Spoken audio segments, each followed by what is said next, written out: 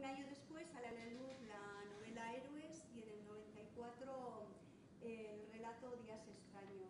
En 1995 publica eh, la novela Caídos del cielo, la cual eh, le llevará a debutar en 1997 como director y guionista de cine, ya que adapta el texto para la realización de la película La pistola de mi hermano. Ese mismo año realiza el guion de la película Carne Trémula de Almodóvar.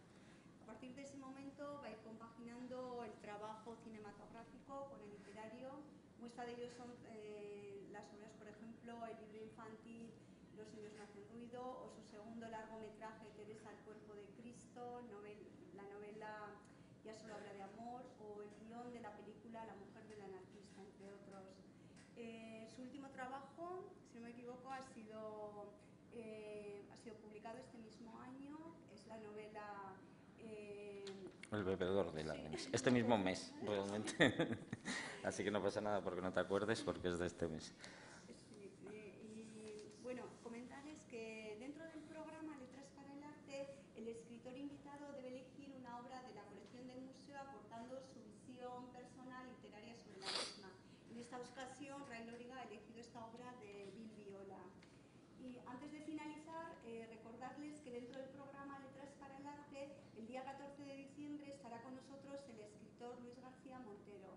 Y sin más, eh, les dejo con Ray Loriga y agradecerle su participación y el apoyo a las actividades que organizamos en la región. Gracias, Casco.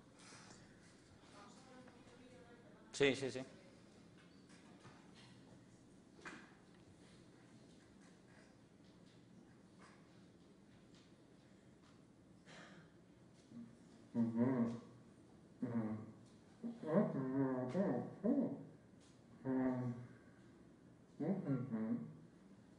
嗯嗯。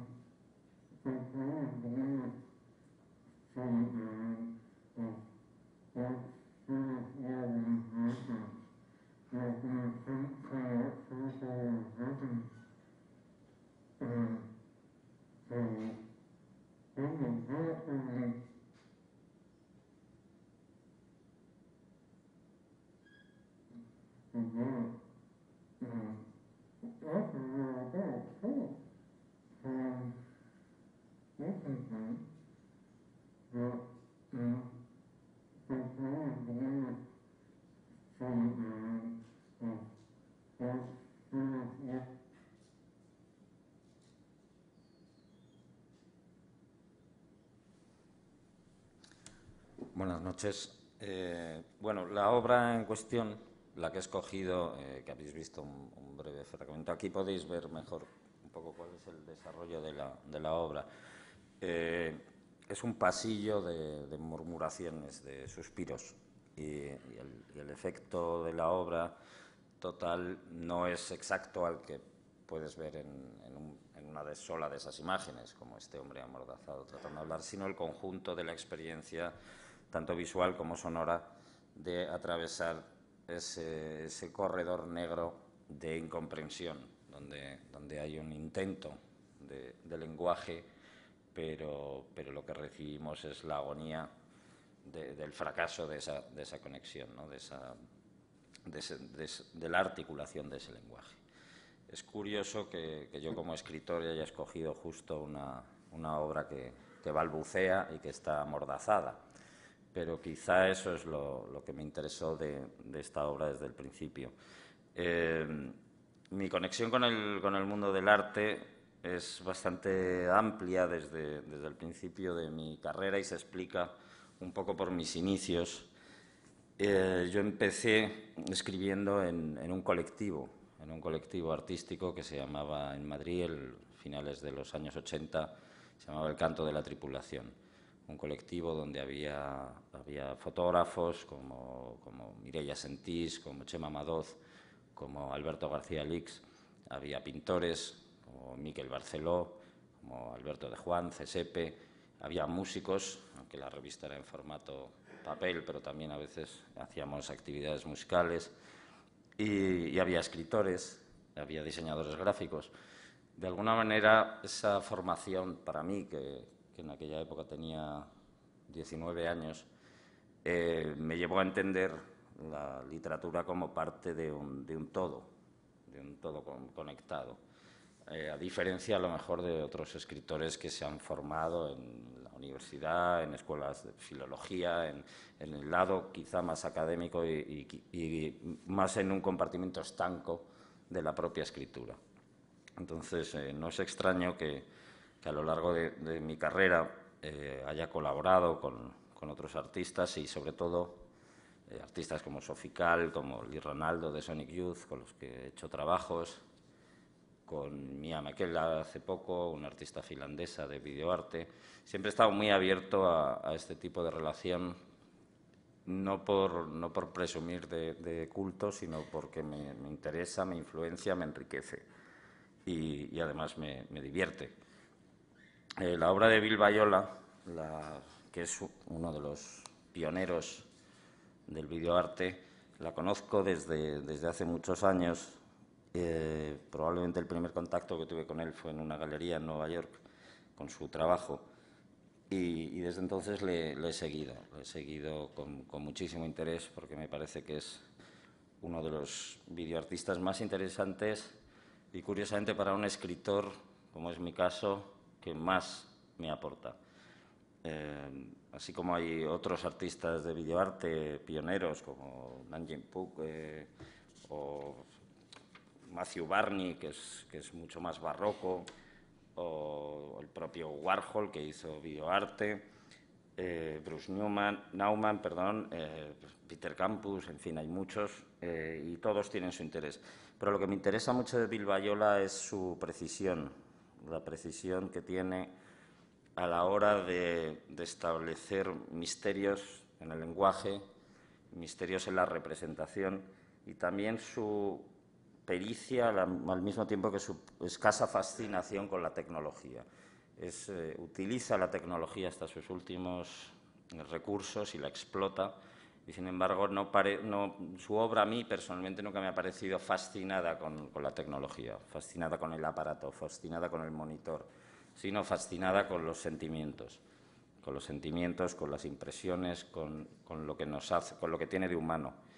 Eh, no sé si habéis visto uno de sus últimos trabajos, Las Pasiones, que es, una revisión de toda la iconografía religiosa del, Renacimiento hecha en, película, en obras de, vídeo, muy sofisticada, muy elegante y, una revisión muy profunda de, lo que es la composición, eh, la expresión de las, de las pasiones y las relaciones entre, los personajes en, los cuadros y los mitos y los mitos y leyendas bíblicos.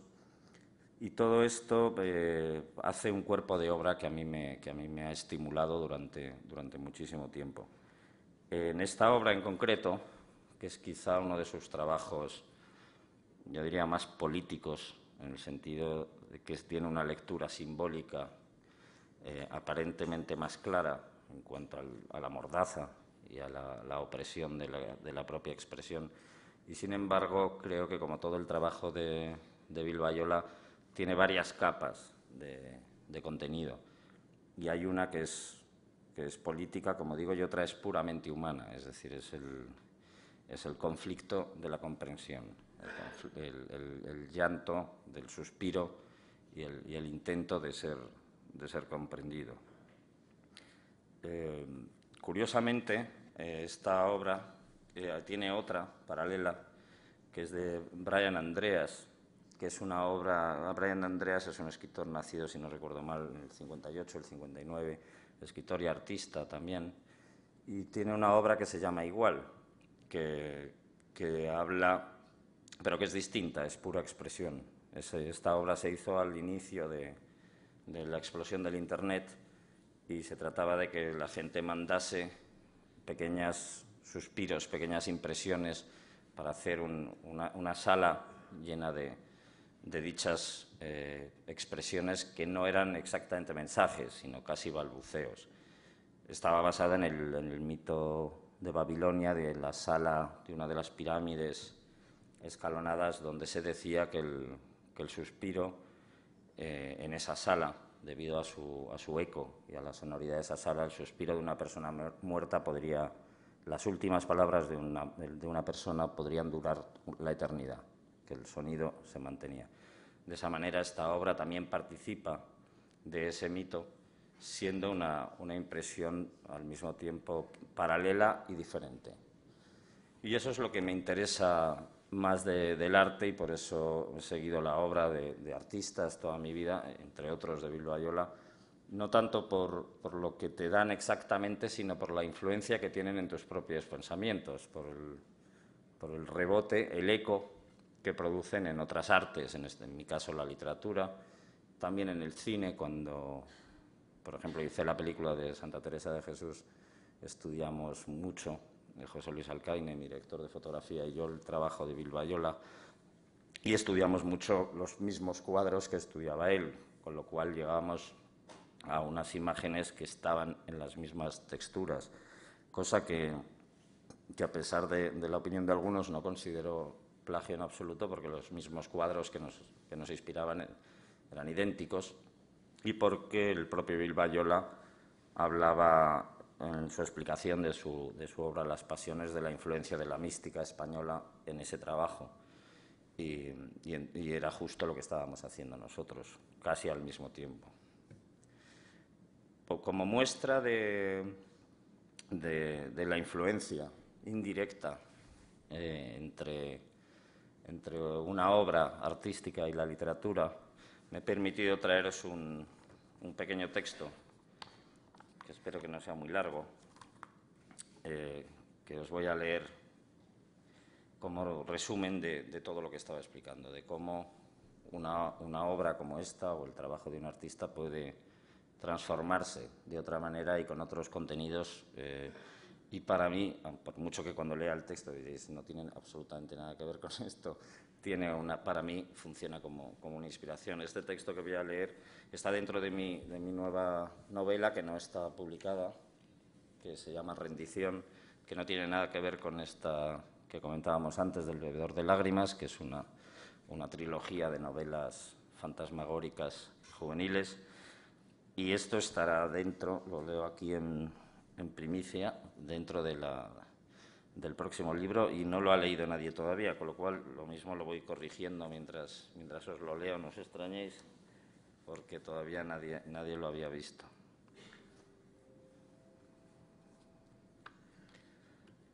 De alguna manera, aunque sea difícil verlo, y luego si queréis podemos charlar y, y me preguntáis, eh, parte de, esta obra en concreto y de la obra de Bilbayola me, ha influido mucho en este, en este libro y en concreto he elegido un, pasaje que, que tiene que ver con ello. Esta mañana nos ha llegado un rumor y por la tarde nos lo ha confirmado el agente de zona. Un rumor es un suspiro hasta que se convierte en una noticia y entonces ya es tarde. A la ciudad de cristal habrá que llevar muy pocas cosas. Muebles no, que no hay camiones, y libros pocos. Dos retratos por pareja, y las fotos de los hijos para quien los tenga, pero solo una por hijo, no más. En la ciudad de cristal todo tiene que empezar de nuevo. Nada que limpie, porque la limpieza corre a cargo del gobierno provisional. Nada que manche, para no hacer más difícil su trabajo. Algo con lo que practicar deporte. Una pelota, una raqueta. Esquís no, porque no hay nieve. Un par de bañadores por persona, aunque no hay mar ni piscina. Las gafas de ver y las lentillas. Ninguna medicina, que éstas no serán, no serán administradas una vez allí de acuerdo a una somera revisión de nuestras dolencias. El encargado de zona dice que allí podremos ser tan felices como en cualquier otro sitio y que estaremos sobre todo y por encima de todo protegidos. Ella lo duda y yo, a qué mentir también. Pero lo vamos a hacer. Hay que confiar en el gobierno, aunque sea provisional. La otra, la otra alternativa es la muerte o la anarquía dos cosas que ni ella ni yo queremos en realidad. A decir verdad que sí me hace ilusión esta aventura. Mientras nos preparamos, vamos llamando al niño por los dos nombres que le habíamos puesto, Julio y Edmundo. No se gira al oír ninguno. Es de suponer que tenía un nombre propio, pero ese seguimos sin saberlo, y el niño no dice nada. Ella se ha agotado y ha cedido. Será Julio, a partir de ahora. Queda poco para salir de aquí. Nos han dicho que hay que quemar la casa, para que no pueda servir de morada al enemigo, pero que el terreno seguirá por ahora nuestro nombre y que después de esta guerra habrá ayudas oficiales para la reconstrucción. Nos han dado dos bidones de gasolina y claro que hemos pensado en rellenar el depósito del coche y largarnos, pero ellos también. Por eso ayer nos requisaron los coches. Ellos siempre piensan mucho antes en lo mismo. A la ciudad de Cristal iremos en autobuses con aire acondicionado. Las vías del tren han sido saboteadas. Quemar nuestra casa no va a ser fácil, porque era nuestra. Ella se echa a llorar con solo pensarlo. Yo la consuelo. No es que a mí no me dé pena, es que he adquirido con el tiempo el hábito de consolarla. La casa además es de ella, y antes fue de su padre y de su abuelo, así que es normal que a ella la remueva más por dentro. Ella, como todas las mujeres, es más fuerte que los hombres, pero a veces se rompe, y yo la abrazo. Lo hago sin darme cuenta, es lo que he hecho toda la vida. Mi padre también lo hacía con mi madre. El niño Julio sonríe como si la cosa no fuera con él. Tiene la ventaja de ser inocente, al menos por ahora. Si algún día descubren que no es nuestro, en fin, Dios no lo quiera. Nos quedan solo dos días para quemarlo todo y salir de aquí. Las maletas ya están hechas. Hemos dormido fatal, pero eso es algo que cualquiera en su sano juicio puede comprender. No se abandona lo que ha sido un hogar así como así, y además había luna llena. La luz blanca se colaba entre las cortinas y no tuvimos más remedio que contemplar lo que era nuestro hasta hace nada con excesiva claridad. Al, amanecer caímos por fin rendidos. Ella dice que en sueños suspiro, pero que nunca digo nada. Nos despertó el llanto de Julio. A veces llora como un bebé cuando tiene pesadillas. No sabemos por qué sueña, porque no se le entiende, y por el día está callado pero cuando se abraza contra ella se tranquiliza. Los niños y los animales se inquietan con los cambios. Él sabe que nos vamos, ha visto su maleta. También ha visto los bidones de gasolina en el salón, aunque no sé si sabe lo que tenemos que hacer con ellos. Ha desayunado bien. Le hemos dado casi todo lo que nos queda, aunque ya ha escondido unas cuantas latas entre nuestra ropa, a pesar de que nos han asegurado que no nos faltaría comida. Ella no se fía no la culpo. Después de lavarnos hemos ido a dar un paseo por la propiedad, hasta el bosque. No sabemos cuándo podremos volver y ha sido un paseo extraño. No para Julio, él iba tan contento subiéndose a las ramas y persiguiendo las moscas. Ardillas hace tiempo que no quedan. Es muy difícil saber lo que piensa un niño, pero está claro que el día no le asusta, solo le asustan sus sueños. A nosotros nos asustan los días, las cosas reales, saber que tal vez no volvamos o no saber quiénes seremos al regresar. Por supuesto que me he llevado la escopeta al bosque y hasta le he disparado a un gorrión. No suelo tirarle a los pájaros, pero es que en el bosque ya no hay nada más que cazar. No sé cuándo podré cazar de nuevo. En la ciudad de Cristal todas las armas están prohibidas. En cualquier caso, no tengo intención de quemar mis escopetas junto al resto de la casa. He decidido enterrarlas en sus fundas, mientras ella y el niño duermen. No pienso decirles nada, ni a ellos, ni a la gente de zona, ni a nadie, ni siquiera a ella. Un hombre hace con sus escopetas lo que le da la gana, faltaría más. Julio se ha perdido un par de veces por el bosque. Le hemos llamado por su nuevo, nombre y ha vuelto. Al menos en algo he acertado. Julio es un buen nombre. Hemos recogido moras y algunas flores. Queremos que esta última cena sea especial. Especial es todo lo que no se repite a menudo, y más especial aún es lo que a, lo, que a lo peor no se repite ya nunca. No sé si lo he dicho antes, pero ella es una cocinera prodigiosa. Las patatas viejas tienen un punto amargo y su salsa de moras lo suaviza. Ella tiene muchas otras capacidades, además de la cocina.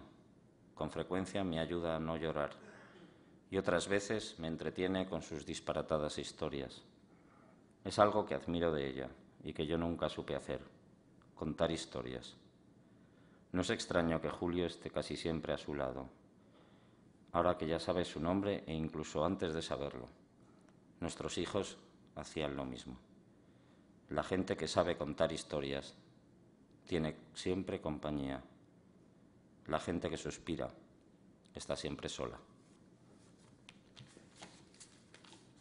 Bueno, este pequeño cuento, que es parte en realidad de una novela, eh, os lo he enseñado como, muestra de, hasta qué punto ese suspiro, el eco de, una pieza como esta, esos, balbuceos incomprensibles pueden generar, como en, como en Babilonia, un suspiro constante que no muere y que a otro, en este caso a mí, me lleva a inventar toda una historia de esa, negrura, de esa opresión que yo intuyo, de esa opresión de la voz y de aquellos que la sufren.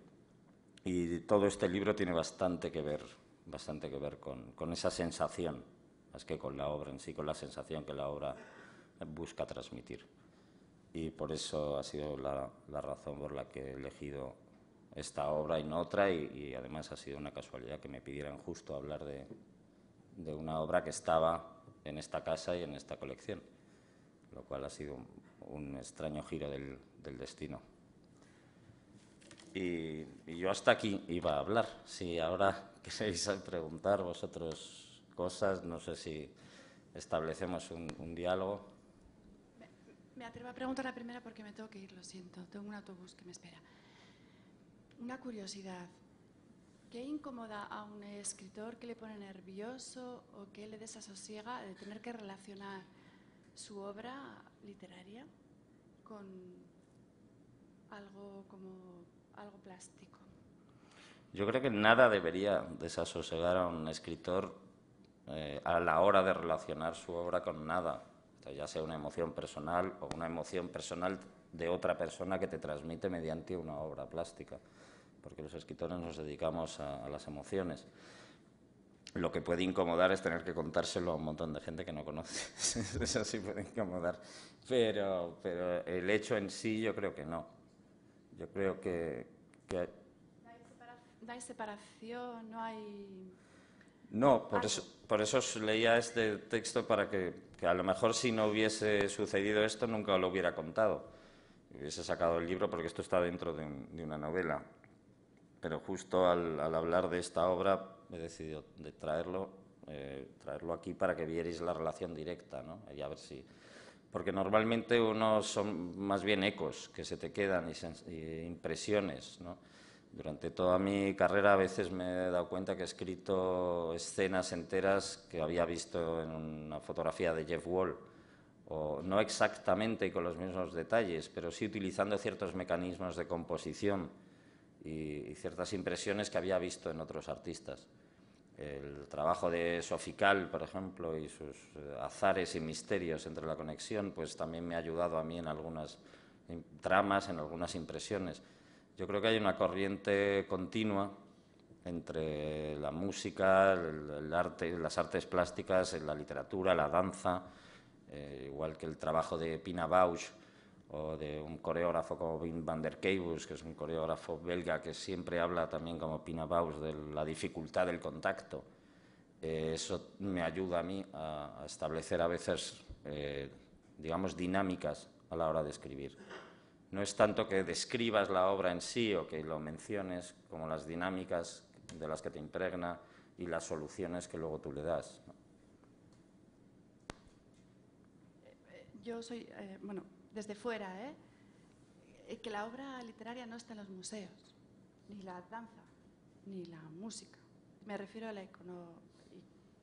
Pero por eso, por eso me parece importante este tipo de, acto para destacar que, que, el museo no es el único lugar del arte, evidentemente, es un lugar estupendo para el arte, pero, el arte tiene lugar en nuestras cabezas, en nuestras ideas, eh, y tiene esos ecos que, son fértiles.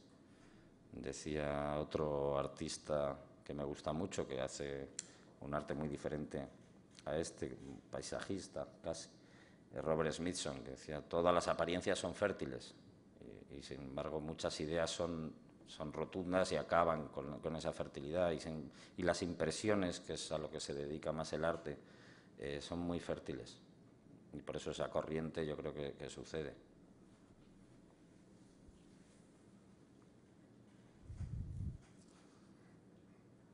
Que alguien pregunte, que si no van a decir que he hablado muy poco.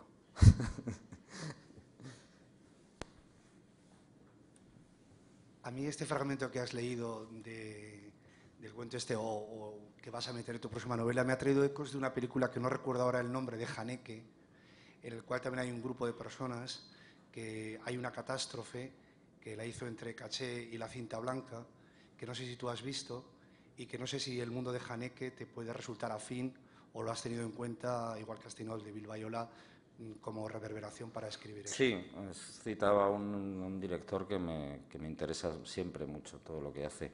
Y de hecho, en esta novela hay algo de ese espíritu de la cinta blanca, aunque la cinta blanca habla de un momento concreto en la historia de Alemania.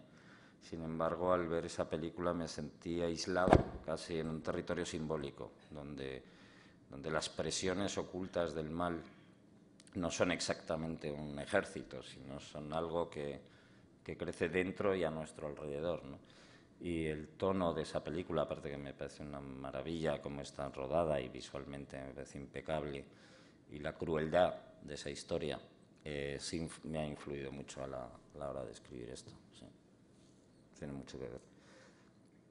La verdad es que Haneke es uno de los directores que más me, me interesan ahora mismo de los que están haciendo cine nuestros contemporáneos, digamos. En algunas películas eh, más, en otras me siento más, las tengo que pensar más o me rechazan inmediatamente, aunque luego me interesan igual. Y La cinta blanca me parece una maravilla, me parece una, película sublime.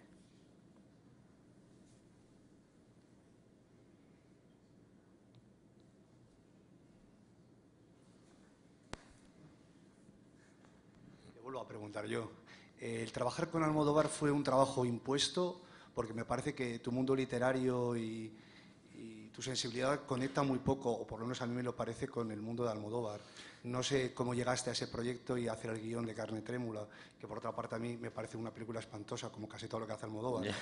Entonces, no sé si ese trabajo fue condicionado por cuestiones económicas, cómo llegaste a no, No, la verdad es que fue... Me alegra que me hagas esa pregunta. A mí, a mí no me parece espantosa, pero el, el guion, eh, digamos que colaboré con Pedro. Eh, te lo digo para no, atribuirme ni la gloria ni, ni el espanto en tu caso. pero en realidad fue por mi interés precisamente por trabajar con gente en el polo opuesto a lo mejor de mi propia sensibilidad y de lo que yo hago. Y sobre todo en un, en un guion no haría seguramente una novela a dos manos, ¿no? A cuatro manos, pero bueno, a dos, porque se escriben con una sola, ¿no? Bueno, en teclado son cuatro. Antes escribía con pluma. Pero precisamente lo que me ha gustado de esa experiencia fue trabajar en un territorio tan opuesto al mío, porque creo que ahí también hay mucho que aprender, ¿no? Y entonces eh, no, fue, no fue a punta de pistola ni trabajar con Pedro, ni obligado por, por nada, ni, ni, ni, porque me pagasen una millonada. En este país a los guionistas no se les pagan millonadas por lo general. Y además yo estaba empezando. Pero justo fue eso lo que me interesó. Eh, comprender cómo funcionaban sus mecanismos narrativos y sus intereses eh, visuales, y etcétera, etcétera, tan, tan distintos a los míos. Cuando he podido trabajar con un director al que, aunque sea diferente a mí, aprecio su trabajo y me inquieta y me parece importante, lo he hecho siempre encantado también cuando trabajé con Carlos Saura, eh, que es un director que me gusta mucho, trabajamos trabajé en, una historia de un crimen rural, la España profunda, y en, una temática que, seguramente yo solo nunca me habría metido, no habría abordado jamás, y de, su mano En cambio, me pareció un ejercicio muy interesante. Una de las ventajas que, tiene lo de ser guionista es no ser el, alma total de un proyecto. Es decir, poder trabajar en distintos géneros, en distintos parámetros narrativos y, aprender de todos ellos. Entonces, siempre, siempre que me sale una buena oportunidad de ese tipo, intento cogerla, porque me enriquece y aprendo y me aporta cosas.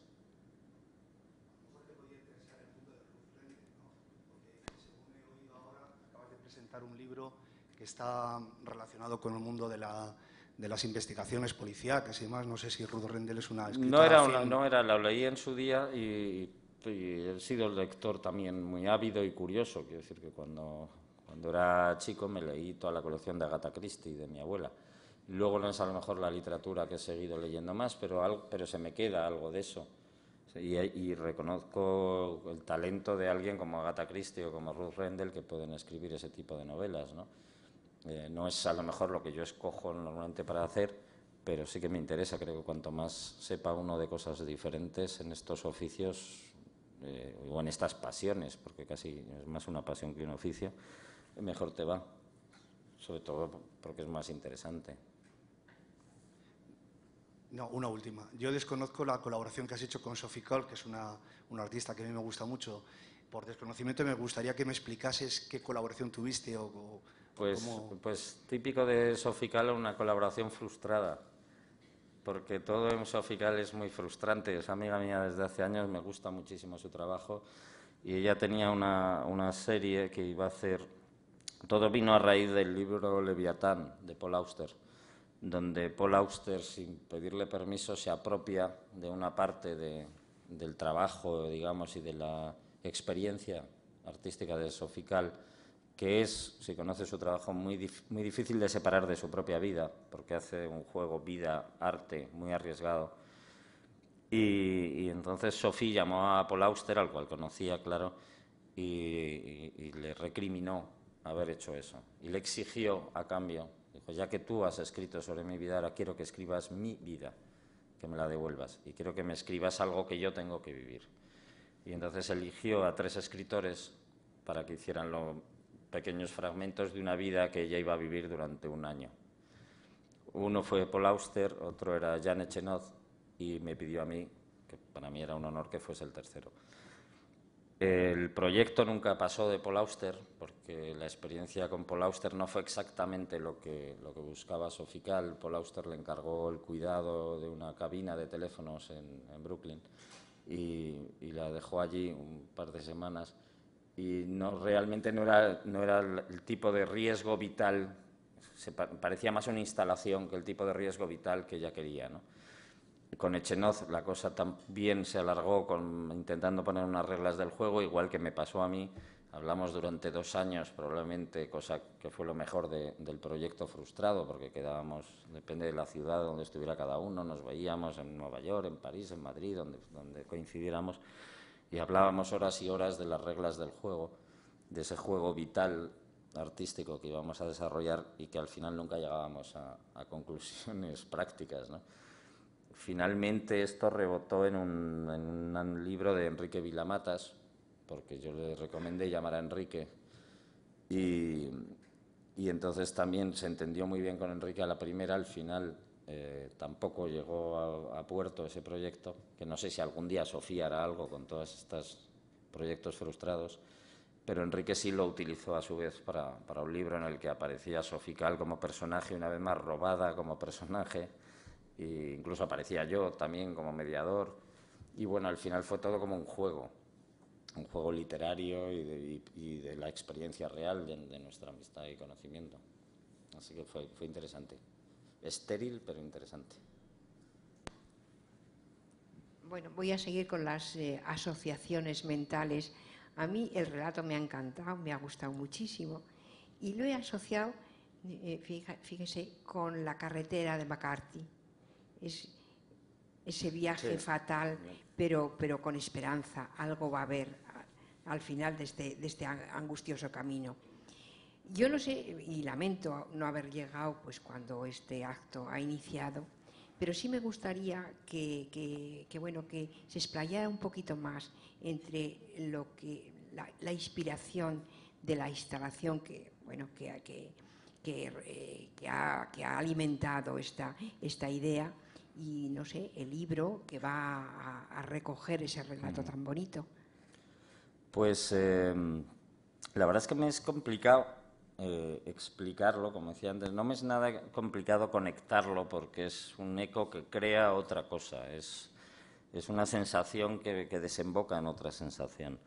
Eh, las ideas, que, lo, decía antes un poco así de pasada, las ideas que, a mí me da y me dio en su día esta, este montaje, esta instalación de Bilbayola, tenían que ver con, con los límites de la expresión, con la, con la opresión esa opresión invisible que no se sabe muy bien si... Pues decía al principio que en apariencia es una obra de contenido político, es decir, que si, si esta obra la pusiéramos en, eh, en, un país de la primavera árabe, cuando estaba luchando por sus libertades de expresión, tendría un valor político teórico muy claro. Si la pusiéramos en, en un anuncio de protección de, de los derechos de la mujer, tendría otro valor si lo pusiésemos en, unas jornadas sobre la libertad de prensa, tendría otro. Eh, y sin embargo, tiene otra capa que para mí es meramente psicológica, es decir, qué es lo que nos oprime a la hora de expresarnos, es decir, y por qué somos víctimas muchas veces de esas, de esas mordazas que no sabemos muy bien quién nos las ha puesto y qué expresamos cuando no nos expresamos, es decir, que que también es un mecanismo de expresión. Hay una cosa muy bonita al, caminar por ese pasillo oscuro lleno de balbuceos y suspiros, que uno siente que hay un nivel de expresión, es decir, que, esa gente no está callada, no está muerta. Eh, otra cosa es que no sepamos descifrar o articular lo que nos están diciendo, pero está claro que en un nivel eh, no, no exactamente pegado a la letra, estamos sintiendo algo de lo que, esos, de lo que estas personas sienten. Y eso era lo que, lo que más me interesaba.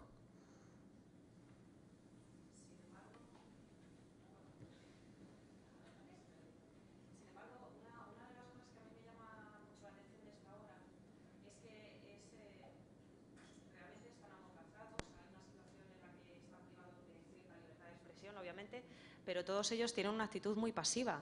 Mm. La obra, intencionadamente, ¿no? Él, pide que cierren los ojos.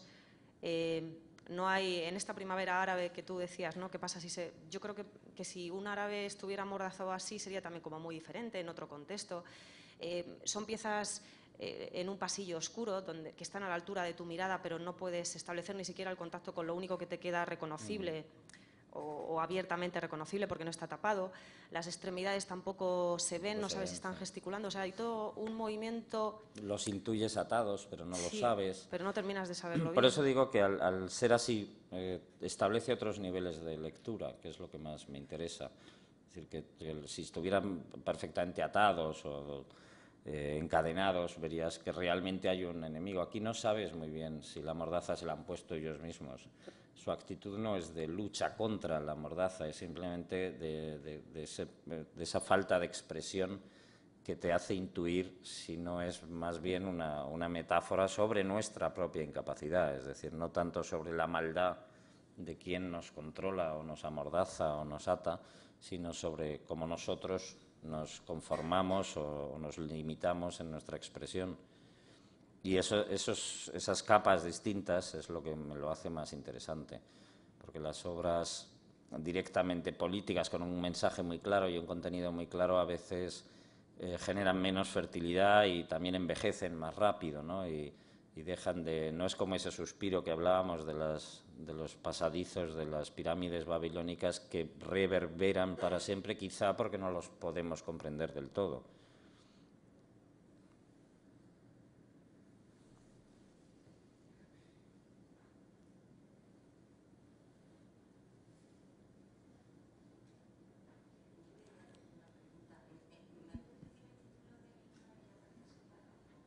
Este se llama rendición. Tiene mucho que ver con la idea de, la rendición, aunque sea impuesta, es un acto de voluntad. porque la otra es no rendirse, incluso ante la muerte ¿no? y morir. Pero la rendición eh, no es un acto, normalmente no, se decide en, en la mejor de las circunstancias, pero conlleva una responsabilidad y conlleva un acto de voluntad, que es un poco lo que hablábamos aquí.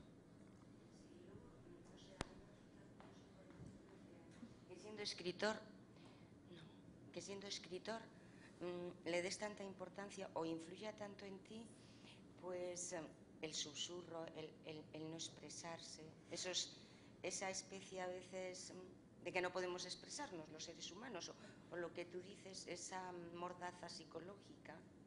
Siempre me ha, interesado eso y no soy el único escritor al que le interesa, evidentemente. el, dios de los que nos interesa eso sería Samuel Beckett, ¿no? un escritor que escribe sobre todo de la imposibilidad de decir las cosas y de, las trampas y condiciones del lenguaje y de cómo el lenguaje va haciendo una, tela de araña que, va transformándose en condiciones que muchas veces son opresivas y cuál es la libertad cuando uno tiene que moverse entre unos mecanismos de lenguaje establecidos y con unos ecos ya casi obligatorios.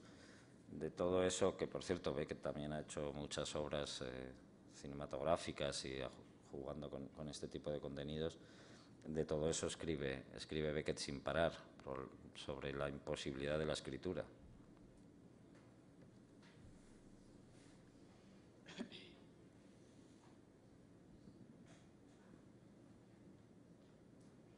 Creo que...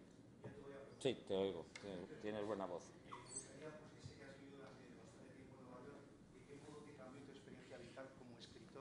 la vivencia de Nueva York? Pues la Después de vivir en Nueva York, ¿escribes diferente? ¿Te influyó la literatura norteamericana? ¿Cómo, cómo ha, ha, repercutido todo eso en tu forma de escribir? Si es que ha repercutido de alguna manera. Hombre, todo lo que uno vive repercute, ¿no? Si en vez de en Nueva York hubiera vivido en Cuenca, también me hubiese afectado, quiero decir que aquí o en Vitoria o en, el, Nueva Orleans. Es verdad que Nueva York, en el sentido que lo hablaba antes con el director de este museo, de la relación entre las artes, en ese sentido quizá es más común y más viva eh, que en, en, nuestra cultura, por ejemplo, en España me refiero. ¿no? Eh, aquí parece que los músicos, los escritores, los cineastas son todo como segmentos muy separados, salvo excepciones. En Nueva York es verdad que hay una comunidad artística que vive un poco más eh, mezclada, pero también te decía que antes de ir a Nueva York, yo, antes de haberlo pisado nunca, en Madrid yo había vivido esa, esa misma experiencia, ¿no? depende del lugar y, y, aquí ha habido grupos... Eh, como Fluxus y, gente que ha participado en grupos artísticos como Juan Hidalgo, con, artistas de todo tipo, con cineastas, con, o la generación del 27, ¿no? por ir un poco más atrás. Quiero decir que tampoco es algo ni nuevo ni, ni inaudito en España, pero quizá Nueva York como metrópoli, el mundo del arte está más, más ramificado e interconectado. Y es una especie de sistema nervado que, que tiene más conexiones en ese sentido puede que sí me haya, me haya ayudado a, crear otro tipo de, parámetros. Bueno, y me gustaría saber qué te lleva a expresarte cinematográficamente y si tienes en mente volver a repetir la experiencia. Sí, la verdad es que me gustan las imágenes y me gusta verlas, pensar en ellas e intentar reproducir algunas de las de las impresiones que me han causado a mí otras imágenes. Entonces, en el, en el futuro sí me gustaría. Lo que no sé, porque el otro día, hace no mucho, tuve una larguísima conversación con un artista mío mío, Manuel Sainz, que es un, eh, un, artista muy bueno, que está trabajando mucho por todo el mundo ahora mismo y que ha tocado varias disciplinas, desde la escultura, la fotografía y el videoarte recientemente, también arte puramente conceptual y, y, él decía que el cine no, no, puede permitirse ya ser un arte, es decir, que, hace años que el, que el mercado ha, ha, consumido las posibilidades artísticas del arte, era una discusión teórica, no una discusión, una conversación en realidad. Y a mí me gustaría pensar que no, que el cine todavía tiene, tiene algunas posibilidades artísticas. Es verdad que el cine como, como instrumento de entretenimiento, que me parece formidable, porque disfruto de una película divertida como cualquiera, eh, quizás se ha impuesto hasta tal nivel que es difícil encontrar esos otros parámetros de los que hablábamos en Hanke ¿no? en la, cinta blanca, o se han quedado muy reducidos a unos círculos muy de arte y ensayo, de antes las películas populares las hacía eh, uno de los, por ejemplo, uno de los artistas más grandes que ha dado la historia del cine, que es Hitchcock, y ahora las películas populares son de Spiderman, ¿no? Hay algo ahí que no es lo mismo, no acaba de funcionar igual, o al menos a mí, a lo mejor yo soy un antiguo y es que Spiderman es el equivalente de Vértigo eh, hoy en día. Me gustaría pensar que no, pero, pero a lo mejor sí, a lo mejor yo me lo he perdido.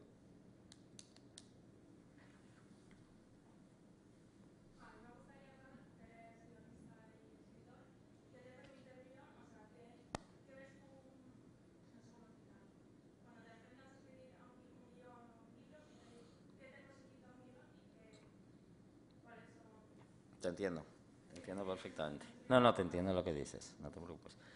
Pues lo que me gusta de un guion precisamente es que es como la cocina de una narración, es decir, que, que solo, un guion no es literatura, ni nada que se le parezca, un guion es una guía, como dice su nombre, una guía gorda que se llama guion, pero, pero no es más que un plano, un plano para una batalla posterior, que sí que los elementos artísticos reales de haberlos en una película eh, quitando la belleza o no de los diálogos, todo lo demás está recreado, propuesto por el guion, pero no, pero no escrito en el guion, es decir, el guion propone.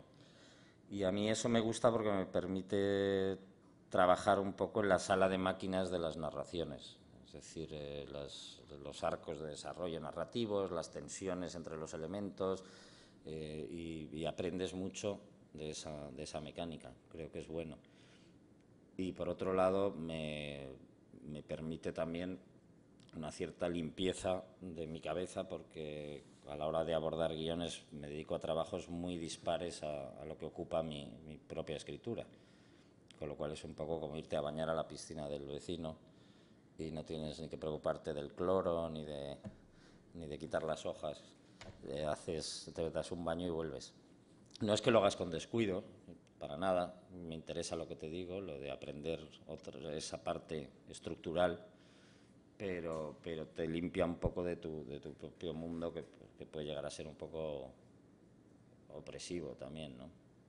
Más que nada, no digo opresivo por el tormento de la creación ni nada de eso, opresivo porque estás todo el día pensando en lo mismo. Y a lo mejor de tanto pensar en lo mismo, al final ya no piensas en nada, o te repites, o se te agota. Siempre es bueno darse una, unas vacaciones en las mentes de otros.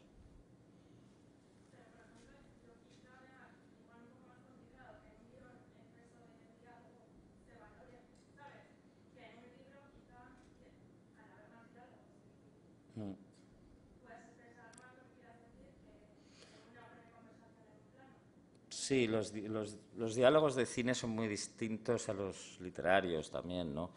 Eh, normalmente depende, claro, de qué personajes hables, de qué película y de qué contexto, pero funcionan de manera normalmente más mecánica, ilustran, pero también bien utilizados los diálogos pueden ser magníficos. El trabajo de un guionista con todo, y esto parece una clase de guiones, pero siempre lo digo cuando he dado clases de guiones, eh, no es solo los diálogos, hay la gente piensa que el guion es fundamentalmente los diálogos y tú puedes, los, las películas mudas tenían guiones también y algunos muy buenos. Eh, igual que se escribe lo que dicen los personajes, se escriben los trenes, los árboles, se escriben las impresiones, se escribe la oscuridad, se escribe la tensión. Todo eso, todo eso es el trabajo fundamental de, de, un, de un, guion. ¿no? Y, y, luego los diálogos también tienen su propio sentido y su propia belleza, y, y depende de, del tipo de película, ¿no? Los diálogos de Billy Wilder en, las, en la alta comedia o de las películas de Howard Hawks eh, pues, se pueden, te los puedes leer en la ducha y te vuelves a reír y son elegantes y están maravillosamente escritos.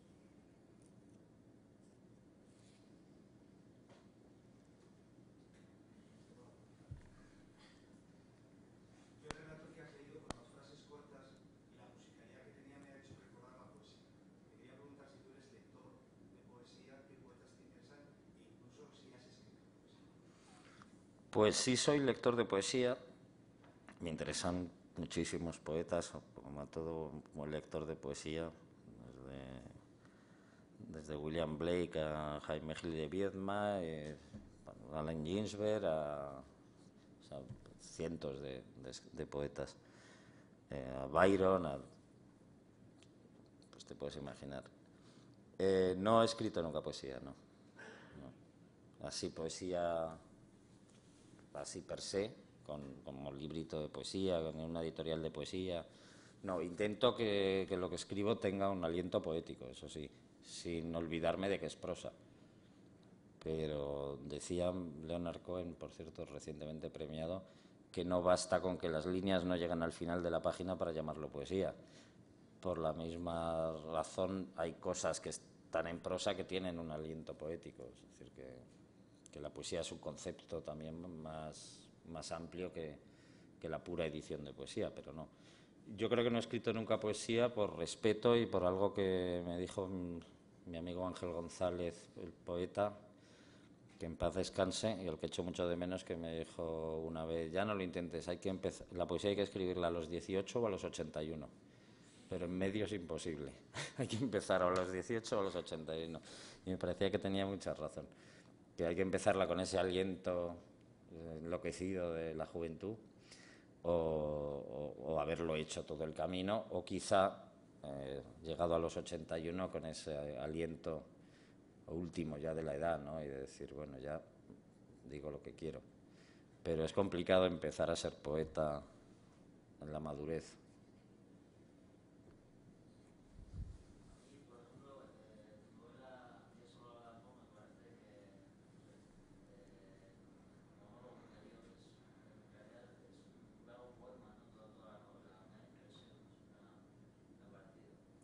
Pues en principio, aunque puede ser un mal poema también, pero, por lo menos un poema ya es algo. Eh, sí, esa novela está estructurada prácticamente todo en, una sola frase eterna, ¿no? una especie de mantra que va en una queja, una queja hacia uno mismo al final, porque y un hombre que se convence a sí mismo de no hacer nada y de no moverse ni siquiera emocionalmente. Y tanto se convence que casi lo consigue. ¿no? Y esa era un poco la idea, que fuese una especie de run, run eterno en, su cabeza, ¿no? Una novela sin prácticamente acción y que se desarrolla toda en una sala circular, es todo como un juego de círculos, un pensamiento circular en una sala circular, en un baile donde la gente da vueltas. Y ese era un poco el espíritu, sí.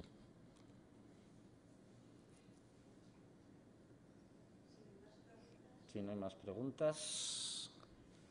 Pues muchísimas gracias a todos, a Casco y a